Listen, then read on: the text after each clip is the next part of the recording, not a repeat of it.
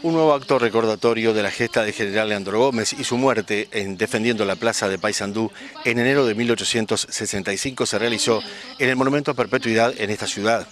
Estuvieron presentes autoridades del Partido Nacional para el homenaje, encabezadas por el senador Luis Alberto Heber, presidente del directorio. El ex candidato presidencial y senador nacionalista Luis Lacalle Pou señaló que 2017 será un año importante para que la oposición, integrando además un nuevo partido y haciendo uso de los números a nivel parlamentario, pueda introducir ideas para cambiar la realidad del país. Lo más importante que, que puede llegar a pasar este año y, es realmente un, quiebre en la política nacional este, con respecto a estos últimos 12 años, es que en la Cámara de Diputados se abre la posibilidad de que la oposición pueda incidir.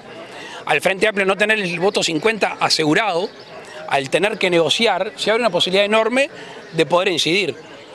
Que esto lejos de ser más derechos para nosotros significa más responsabilidades, porque podemos llegar a, llegar a tener en mitad del Parlamento la responsabilidad de impulsar reformas, de impulsar leyes populares, de tratar de aflojar el cinturón a la gente. Por allí la oposición se abre una ventana. El 2017 amanece con esa posibilidad que si la sabemos utilizar, si somos capaces de tener coincidencia, porque si cada uno sale corriendo para su, su lugar, difícilmente tengamos acuerdos. Y creo que para la oposición, todos los partidos, las que ya son de muchos años, los nuevos, es un desafío lindo para poder incidir positivamente para con la gente.